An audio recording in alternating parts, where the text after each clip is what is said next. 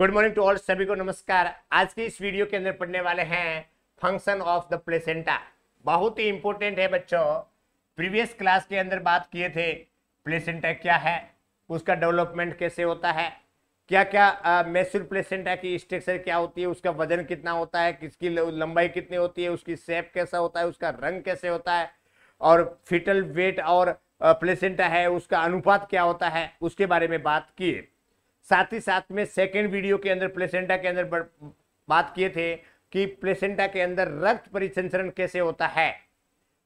Circulation through the placenta रक्त परिसंचरण कैसे होता है? फोर्थ फेस के द्वारा रक्त परिसंचरण होता है, उसके बारे में बात किए। प्लेसेंटा का तीसरा वीडियो है, जिसके अंदर बात करेंगे कि प्लेसेंटा के क्या क्या फ़ंक्शन होते हैं।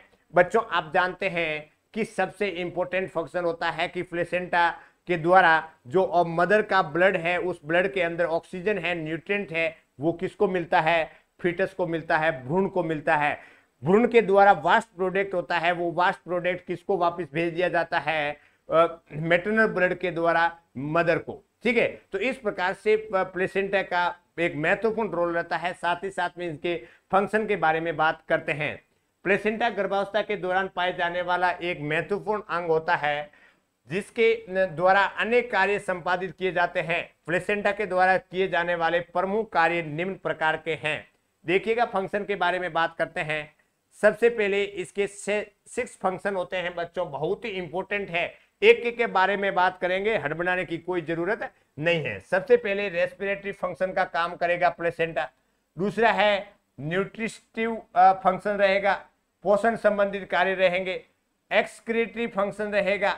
उसके बाद में प्रोटेक्टिव फ़ंक्शन के रूप में कार्य करेगा प्लेसेंटा और उसके बाद में प्रोडक्शन ऑफ़ द हार्मोन कई ऐसे प्लेसेंटा के द्वारा हार्मोन का प्रोडक्शन होता है और प्रोडक्शन ऑफ़ द इम्यूनिटी रोग प्रतिरोधक क्षमता का भी प्रोडक्शन होता है। तो इस प्रकार से सिक्स प्रकार के कार्य है या फ़ंक्शन है जो प्लेसेंटा के अंदर देखने को मिलता है।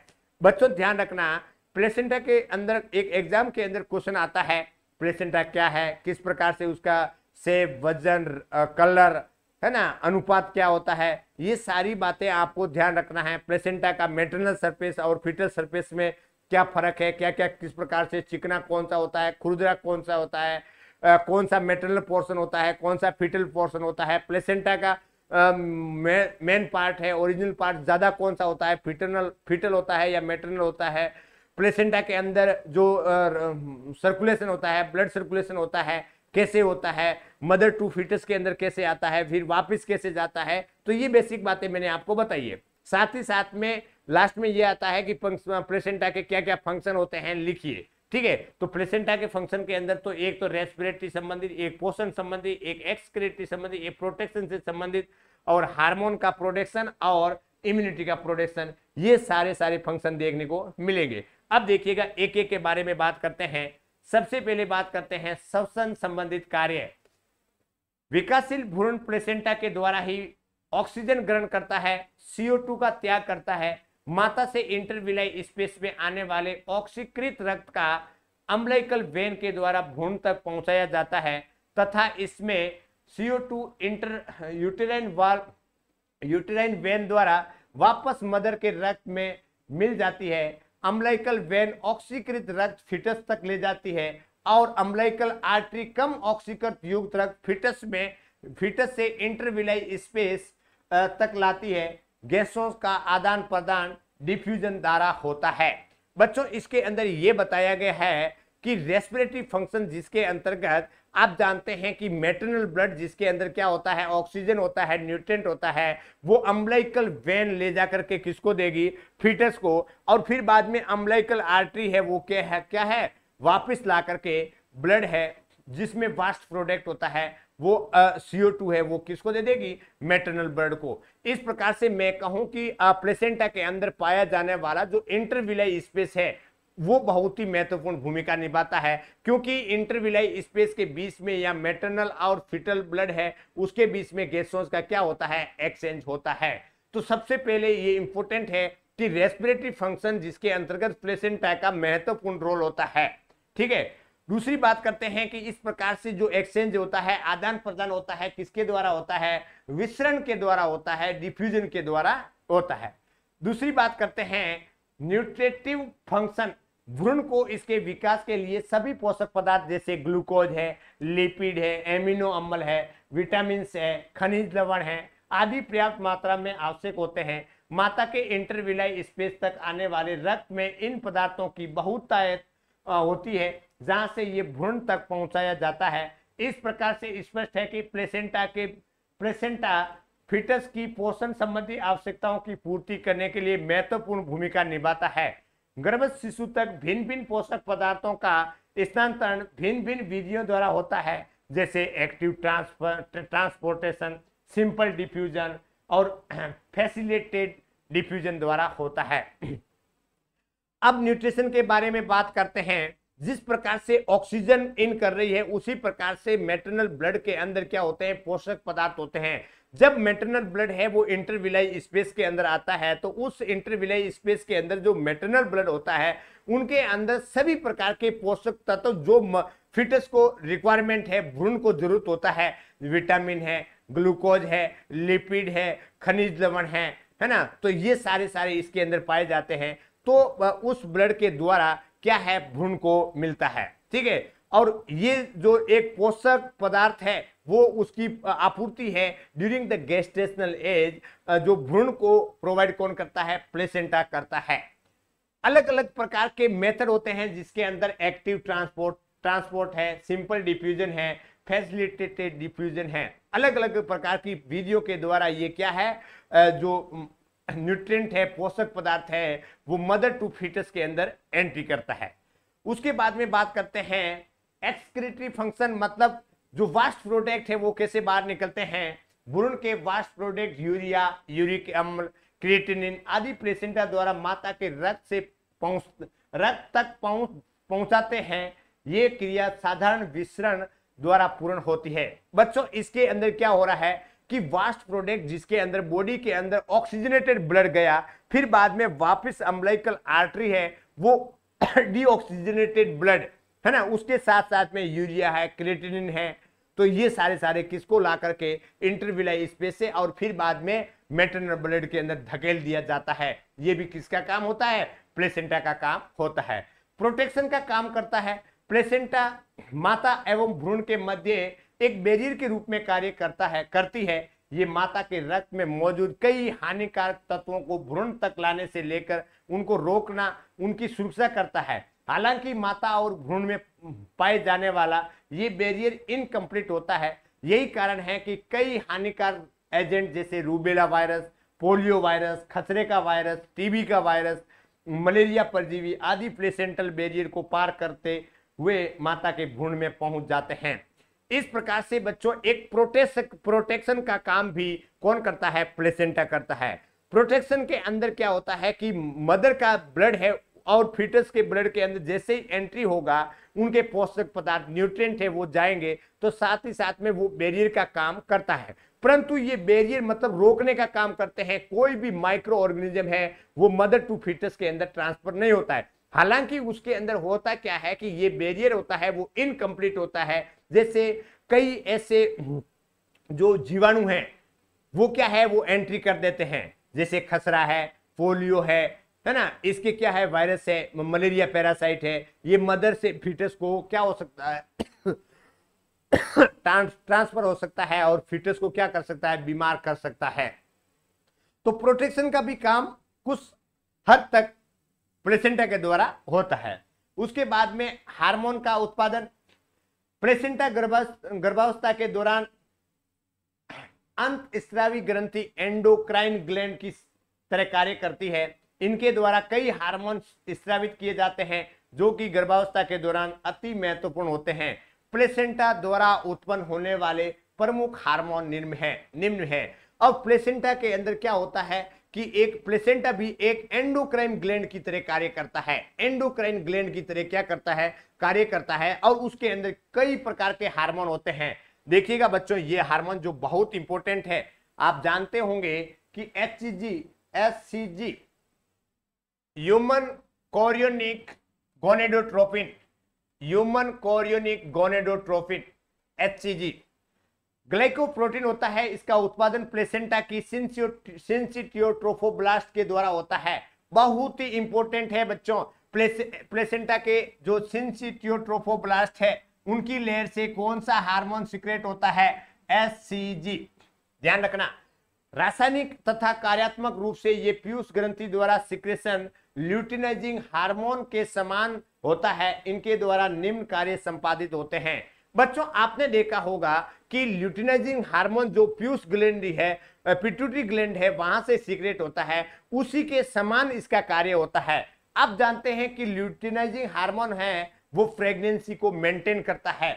प्रेगनेंसी के प्रथम सिक्स सप्ताह तक कॉर्पस ल्यूटियम का मेंटेनेंस करना कॉर्पस ल्यूटियम द्वारा प्रोजेस्टेरोन नामक हार्मोन को सिक्रेशन करना, ये इनडायरेक्ट रूप से नर भ्रूण के बाहरी जन्नागों के विकास में भी हेल्पफुल होता है।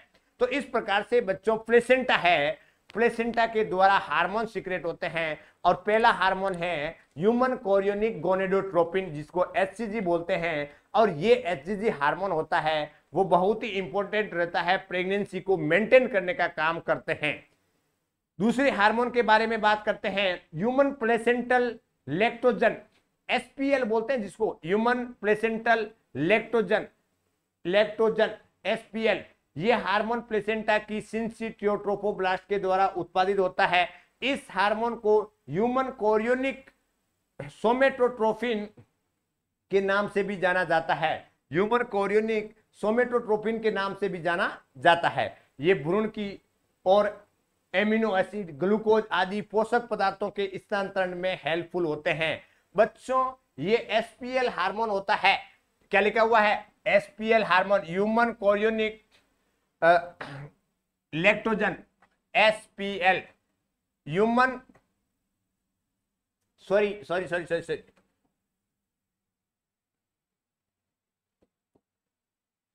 Human placental lactogen, क्या लिखा हुआ है? Human placental lactogen, human placental lactogen.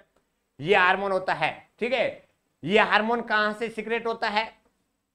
सिंचिटियोट्रोफोब्लास्ट। Trophoblast की जो आउटर लेयर है सिंचिटियोट्रोफोब्लास्ट से वहाँ से उत्पादन होता है। इस हार्मोन का अदर नेम क्या है बच्चों? ध्यान रखना, ह्यूमन कोरियोनिक सोमेटोट्रोफिन हार्मोन के नाम से भी जाना जाता है। और ये हार्मोन होता है बच्चों, एसपीएल हार्मोन होता है। ये भ्रूण की एमिनो अम्ल, ग्लूकोज आदि पोषक पदार्थों को स्थानांतरण करने के लिए हेल्पफुल होता है। इस प्रकार से मदर टू फीटस के अंदर एमिनो अम्ल ग्लूकोज आदि पोषक पदार्थ होते हैं, वो क्या करते हैं? मदर टू फीटस के अंदर ट्रांसफ़र करने का काम करते हैं। कौन सा हार्मोन करते हैं? SPL human placental lactogen lactogen उसके बाद में है एस्ट्रोजन हार्मोन इसका उत्पादन प्लेसेंटा की सिंसिट्रोपोब्लास्ट के द्वारा होता है।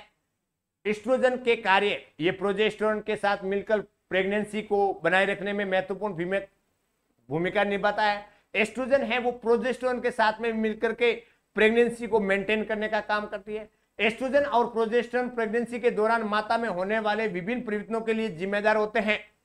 अब इनका लेवल यदि घट जाएगा, बढ़ जाएगा तो ऐसी कंडीशन के अंदर एबोर्शन तक होने की संभावना रहती है। तो एस्ट्रोजन और प्रोजेस्टेरोन हार्मोन है, ये बहुत ही रेस्पॉन्सिबल होते हैं और ये कहाँ से उत्पादन होते हैं? प्लेसेंटा से उत्पादन होते हैं। दूसरा है प्रोजेस्टेरोन प्रेगनेंसी के शुरुआती आठ सप्ताह तक ये हार्मोन कॉर्पस ल्यूटियम के द्वारा सिक्रेट होते हैं। बहुत इंपॉर्टेंट है बच्चों। प्रोजेस्टेरोन हार्मोन होता है। शुरुआती कंडीशन के अंदर आठवें सप्ताह तक कॉर्पस ल्यूटियम कॉर्पस ल्यूटियम से क्या होता है? सिक्रेशन होता है। और उसके बाद में प्लेसेंटा इसका उत्पादन करती है। प्रोजेस्टोन के कार्य क्या होते हैं? ये एस्ट्रोजन के साथ मिलकर के प्रेगनेंसी को बनाए रखता है। प्रोजेस्ट्रोन और एस्ट्रोजन प्रेगनेंसी के दौरान माता में होने वाले विभिन्न प्रयत्नों के लिए जिम्मेदार होते हैं। इस प्रकार से मैं कहूँ कि प्लेसेंटा के द्वारा estrogen, progesterone SPL SCG hormone का निर्माण होता है और ये हार्मोन प्रेगनेंसी को मेंटेन करने का काम करती है। ये हार्मोन जो बॉडी के अंदर विभिन्न प्रकार के एमिनो अम्ल और ग्लूकोज है, उसको क्या करते हैं? ट्रांसफ़र मदर टू फिटस के अंदर ट्रांसफ़र करने के लिए रेस्पॉन्सिबल होते हैं। नेक्स्ट बात करते हैं लास्ट जो फ़ंक्शन के बारे में बात करते हैं, बच्चों, ध्यान रखिएगा। प्रोडक्शन ऑफ़ इम्यूनिटी इम्यूनिटी का उत्पादन करना। प्रोडक्शन ऑफ़ इम्यूनिटी रोग प्रतिरोधक क्षमता उत्पादन करना। इम्यूनोग्लोबिन जी इम्यूनोग्लोबिन जी ये mother mother to fetus via the placenta mother to fetus via the placenta which type of the immunoglobin are transfer तो इम्यूनोग्लोबिन जी, बच्चों, बहुत ही इंपॉर्टेंट है। तो इम्यूनोग्लोबिन क्या है? एक एंटीबॉडीज है, एक ग्लाइकोप्रोटीन है। और जैसे कोई भी एंटीजन बॉडी के अंदर आता है तो एंटी सॉरी एंटीजन बॉडी के अंदर आता है तो एंटी एंटीबॉडी का फॉर्मेशन करेगा। और ये एंटीबॉडीज जो एंटीजन है माइक्रो ऑर्गेनिज्म है, उसको क्या करेगा? डिस्ट्रॉय करेगा। तो इस प्रकार से mother to fetus via the placenta immunoglobin है, वो आता है फिटस के अंदर। और बॉडी को इम्यूनिटी पावर है, उसको बढ़ाने का काम करता है। इम्यूनोग्लोबिन जी के माता से फीटस तक स्थानांतरण में भी सहायक होता है, जो कि फीटस को अनेक बीमारियों से बचाने में हेल्पफुल होते हैं। ये वाला क्वेश्चन है बच्चों, ये वाला इम्यूनिटी वाला है, वो बहुत ही इंपॉर्टेंट है। कई बार एग्ज़ाम के अंदर आया हुआ है कि mother to fetus via the placenta which type of immunoglobin are transfer आपका क्वेश्चन होना चाहिए इम्यूनोग्लोबिन जी इम्यूनोग्लोबिन जी है, बॉडी के अंदर इम्यूनिटी पावर बढ़ाने का काम करती है। बच्चों, आपने जाना, आप जानते हैं कि all types of the immunoglobin a formation of the antibodies है ना? इम्यूनिटी को क्या करेगा? बढ़ाने का काम करते हैं। तो इस प्रकार से बच्चों, जो प्लेसेंटा के, जो फ़ंक्शन के बारे में बात करते हैं तो सबसे पहले कौन सा फ़ंक्शन था? Respiratory function nutritive function excretory function protective function production of the hormone, estrogen, progesterone, है ना? एस और एच ये चार प्रकार के हार्मोन है, उसका क्या करते हैं? प्रोडक्शन का काम करते हैं। Production of the immunity immunity mother to fetus immunoglobin जो ट्रांसफ़र होता है, बॉडी के अंदर क्या है? इम्यूनिटी को बढ़ाने का काम करता है। तो इस प्रकार से आज के इस वीडियो के अंदर क्या पढ़े? Function of the placenta. आज के लिए इतना ही, धन्यवाद।